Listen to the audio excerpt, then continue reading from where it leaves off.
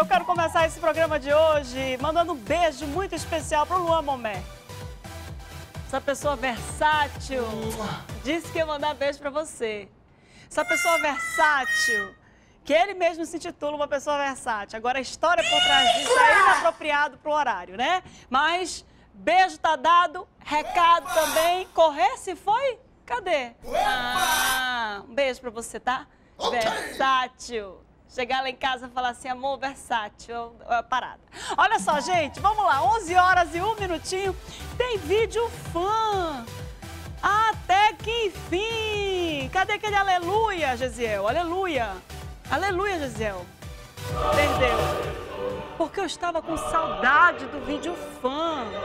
Um beijo para todo mundo que manda o seu vídeo fã que liga para os nossos telefones aqui da nossa tarde, que não, não apareceu, mas está aqui, vai já aparecer, 991537959. Cadê Vanessa? Vanessa, você está entre nós? Ah, ok. Vanessa não está entre nós, está sim, está lá. Está trabalhando aí do lado, para de coisa. Eu, é melhor deixar para lá, né, Cris? Deixa para lá. Vai rolar vídeo fã, posso pedir? 11 horas e 2 minutos agora. Um beijo para todo mundo da Cachoeirinha, em especial para Luiz Fernando. Luiz Fernando, que não deixa passar em branco o nosso WhatsApp, o 99153. Repita! Luiz Fernando, que não deixa passar em branco o nosso WhatsApp 991537959, mandou o beijo pra, de hoje. E esse beijo hoje vai para todo mundo do Cachoeirinha. Coloca aqui para mim o vídeo funk na tela. Bom dia, meu nome é Luiz Fernando e vou mandar um beijo para Márcio Lasmar. Oh, Luiz Fernando. Luiz Fernando, que amor. Morto de tímido, ele foi obrigado a gravar esse vídeo. Luiz Fernando, deixa eu te dizer, olha só. Um beijo para você, mas eu gosto mesmo é de beijo assim, olha. Corta aqui para três. Hum.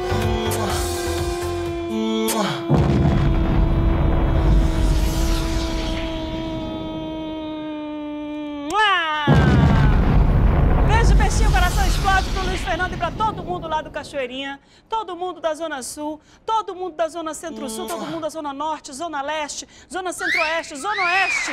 E se você também quiser mandar o seu beijo, peixinho, coração explode, ou um beijo simples, mas com muita emoção, como o do Luiz Fernando, como o beijo do Luiz Fernando, pode mandar pro nosso WhatsApp 99153 7959, porque a gente está aqui, ó, nesse papo reto, nessa ligação, nessa conexão junto com você que está do outro lado.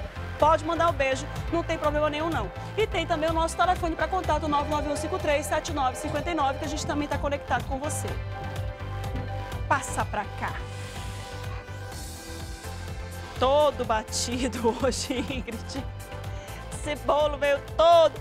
Olha, gente, tá aqui, aqui, pronto. Aqui, meu Deus do céu. Oh, meu Deus! 11 horas e 4 minutos. Você que está do outro lado e quer saborear esse bolo, meu Deus, esse bolo, sai daí! Esse bolo de limão da vovó Tereza, tá aqui o bolo. Bolo de limão da vovó Tereza, que é um dos meus prediletos lá da vovó Tereza, como o bolo de arroz, a torta de chocolate que a gente já comeu aqui no aniversário do Jefferson.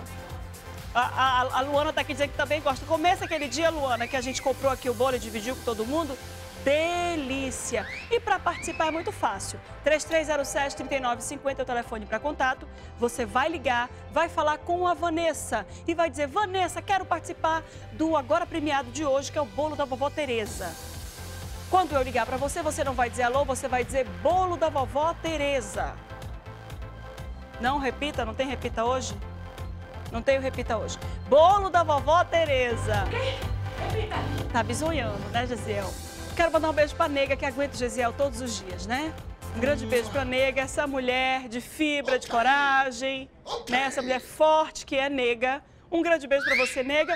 Mas eu quero mesmo mandar um beijo é pro Salustiano e pra dona Verônica, que são as pessoas singulares que trabalham lá no bolo da vovó Tereza, que fazem esses bolos deliciosos. Por falar nisso, seu Salustiano, o senhor veio aqui no primeiro dia, quando a gente começou a anunciar o bolo da vovó Tereza, nunca mais apareceu por aqui, uma pessoa bem humorada, simpática, venha de novo aqui no estúdio no programa, venha de novo aqui na TV em Tempo, para a gente poder conhecer a Verônica. Traga a Verônica junto traga a Verônica, porque eu não conheço Verônica, tenho maior curiosidade para conhecer Verônica, tá? Bolo da Vovó Tereza tem no Parque 10 e no Parque das Laranjeiras. Você ganha o bolo aqui do nosso programa, nosso Agora Premiado, mas também pode ir lá e comprar o seu bolo da Vovó Tereza. 11 e 5, você que está do outro lado acompanhando o programa da comunidade, a gente vai trazer para você agora os destaques do nosso programa de hoje, que a gente preparou no fim de semana, o que aconteceu aqui na capital e região metropolitana, o que aconteceu em Parintins, o que aconteceu no nosso interior. Fica ligado que a gente vai trazer para você. A gente já começa aqui trazendo informações da zona norte da cidade. Motorista de ônibus é baleado na zona norte. O crime ocorreu depois que dois homens tentaram usar o coletivo para uma fuga.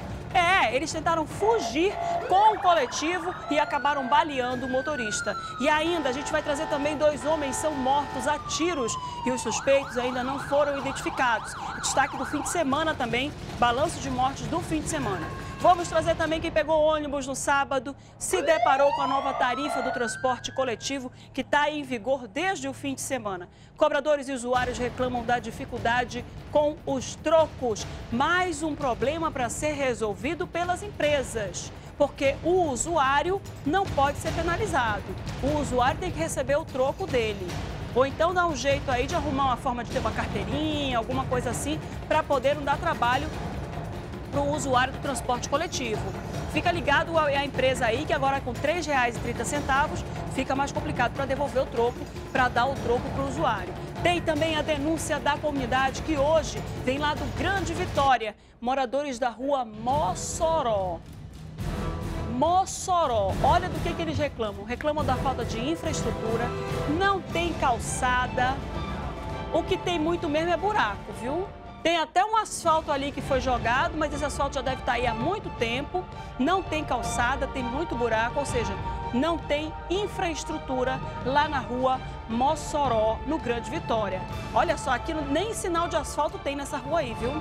Nesse trecho aí, nem sinal de asfalto tem.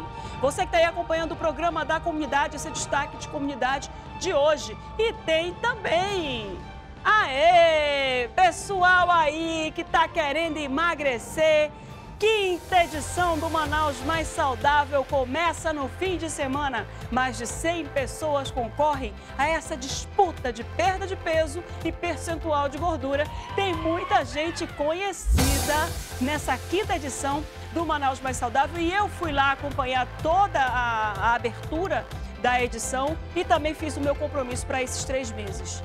Todo mundo tem alguma coisa para se livrar que se incomoda. Fui lá, fiz também meu compromisso, vou revelar na hora que a gente for soltar a matéria aqui. Ah, hoje também tem aniversário da Ana Paula, da Nativa. Tem foto dela já, Ingrid? Tem foto dela já aí? Coloca a foto da Ana Paula da Nativa. Aê, Ana Paula. Essa é a Paulinha lá da Rádio Nativa. Com esses cachos lindos. Adoro esses cachos. Fico olhando esses cachos da OPEC, lá da Nativa, né? É isso, né? Ela é da OPEC, ela é produção, ela é radialista também, ela também é jornalista, ela é mil e uma utilidades. Essa é a Paulinha, da Rádio Nativa, que está fazendo aniversário hoje. Ainda tem? Eu não vou, eu vou, não vou dizer isso. Eu digo? Posso? Ainda tem que aguentar o lobinho, porque o lobinho é chato. Quem aguenta lobinho sem reclamar é Elian né? Dona Elian, o Cris Loureiro aqui que aguenta Lobinho sem reclamar, mas Lobinho é uma pessoa exigente, né? Lobinho é uma pessoa chatinha. Mentira, Lobinho é legal, né? Elian, beijo. A gente tem que mandar beijo pro pessoal do financeiro, Cris, né? Vamos mandar um beijo pro Elian. Vamos mandar um beijo pro Leandro também. Vamos mandar um beijo pro Leandro né? Um beijo, Leandro, beijo, beijo para todo mundo que está lá no jornal acompanhando o programa da comunidade. Vou mandar um beijo também principalmente para Paulinha. Paulinha, estamos aqui aguardando o nosso bolo da vovó Tereza em comemoração ao seu aniversário, né? Corre lá, compra o bolo e traz pra gente aqui até o final do programa. Você tem até 12h40, por favor, tá? Só tô avisando. Um grande beijo para Paulinha, um grande beijo para todos vocês que acompanham o programa da comunidade e para todos. Ingrid, Eu tenho que mandar um beijo pra Lari. Larissa Balieiro fez aniversário ontem. Minha gente, como assim? Eu liguei pra você, lhe dei parabéns a nossa carneirinha. É, nossa carneirinha fez aniversário. Tu tá buscando a foto dela? Procura aí, eu fico aqui conversando até tu arrumar a foto, é isso? que tu tá rindo, Versátil? Ei, pessoa versátil, o que que tu tá rindo? Vou contar, se tu não parar de rir, eu vou contar aqui a história. Põe, põe nossa carneirinha aqui. Olha isso, gente. Carneirinha. É, é, nossa carneirinha. Jornalista. Menina, não sabia que tu tinha esse negócio aí não, viu, Gisele? Tá me surpreendendo mais do que Ricardinho. Nossa jornalista, mais que demais essa. Olha, uma vez participei de uma reunião com Marcela Rosa. Marcela Rosa disse, para ser jornalista não basta ter faculdade, não.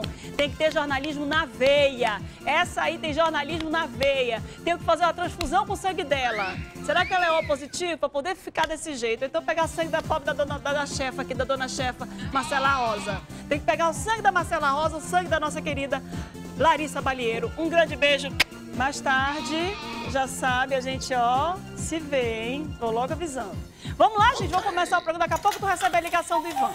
Olha só, gente, você que tem do outro lado acompanhando o programa da comunidade, a gente brinca, a gente se diverte, a gente conta história aqui. Mas, infelizmente, o programa da comunidade também traz notícias tristes. Notícias de sofrimento, notícias de agonia, notícias de muito desespero. O que foi, Rui? Pessoa está assustada ali?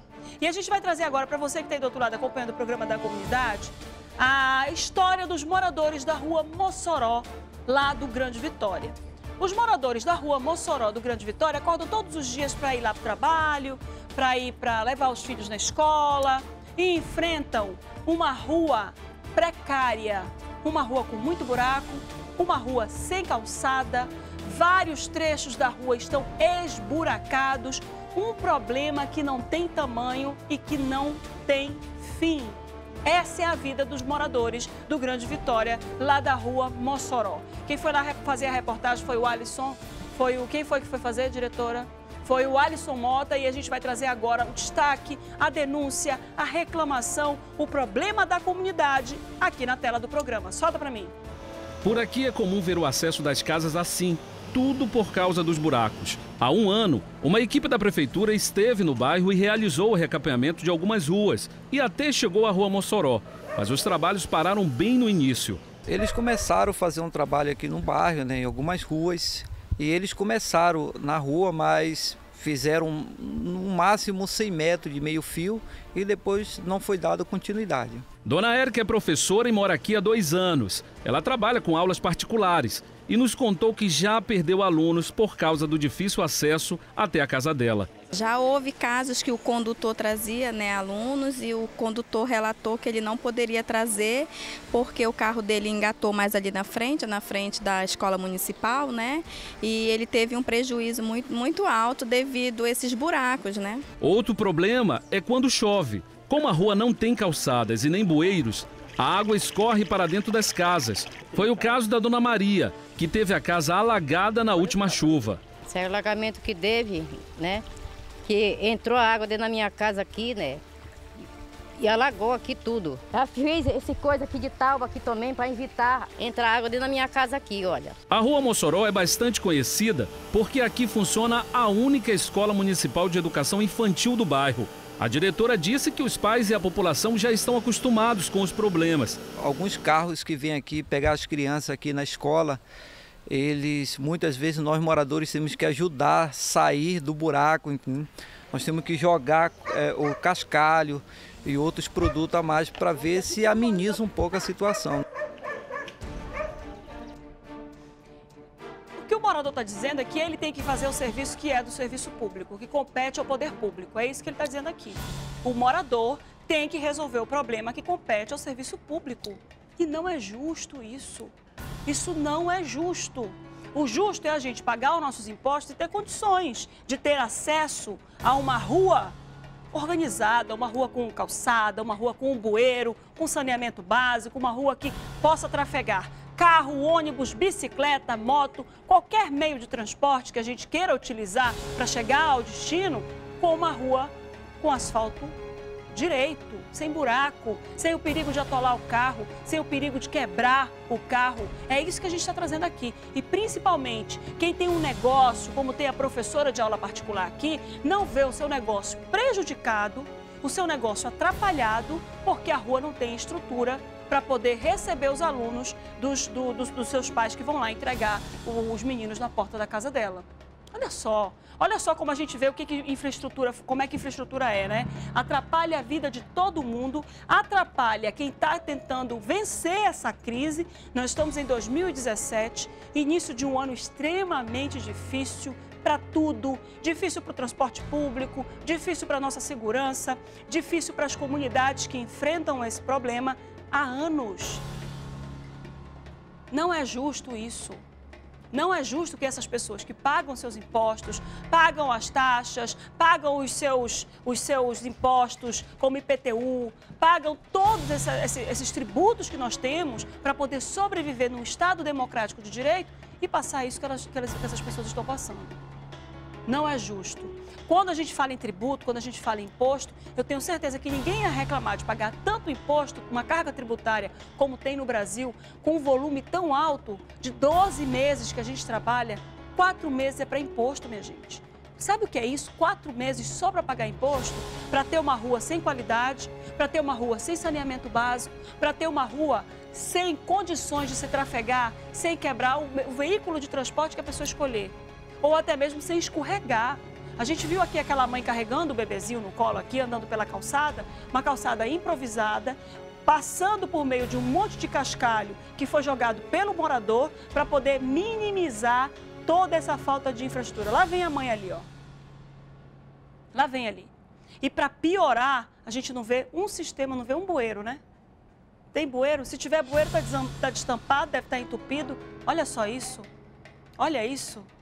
E, eu, e sabe o que eu estou percebendo aqui? Eu não sei se eu estou muito enganada, mas eu não estou vendo nem lixo no, na rua. Ou seja, os moradores fazem direitinho. Aqui a gente vê aqui um saco plástico e tudo, mas a gente está vendo muito mesmo é o tijolo quebrado, a rua sem condições, improvisando ali uma caixa, uma caixa de, de, de, de lixo, olha lá, ó, para deixar o lixo lá em pé, a gente está vendo de PVC ali, tá vendo?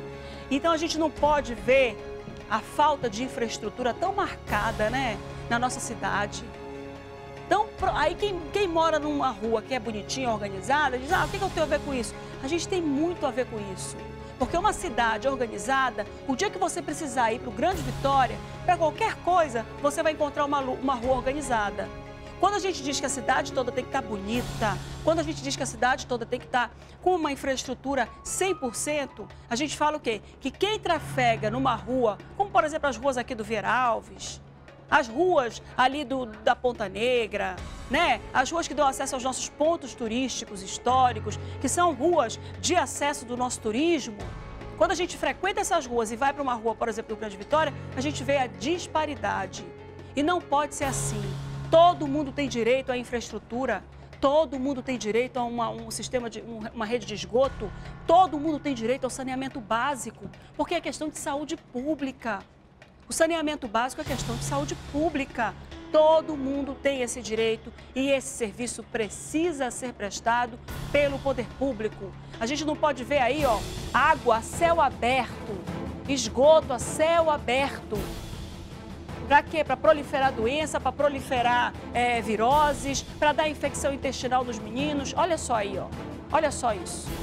Isso não dá certo. E uma cidade limpa, uma cidade organizada, é uma cidade com infraestrutura em todas as ruas, em todas as zonas da cidade. A gente teve, manteve contato com a Semif e a Semif disse para a gente que na próxima segunda-feira as equipes da Secretaria Municipal de Infraestrutura estarão iniciando um serviço de recuperação de bueiros na rua Cruzeiro, no bairro Grande Vitória. E vamos enviar uma equipe do Distrito de Obras da área aqui na rua Mossoró, na via solicitada, para verificar a situação. A gente ressalta que a, a segunda semif, né? Que a rua Mossoró recebeu um serviço paliativo de, paliativo de infraestrutura no ano passado. É o que justifica, por exemplo, esse, esse asfalto que a gente está vendo aqui, ó, que o Cris rapidamente colocou aqui, que está com asfalto ainda escuro, né? Que foi o serviço paliativo que foi feito no ano passado. Precisa de tudo, desde drenagem nessa rua aí, né? A gente está acompanhando aí essas imagens e é com elas que a gente vai para o intervalo e volta já já. Você que tem do outro lado pode ligar e participar. Reclame, faça sua denúncia pelos nossos telefones. A gente volta já já.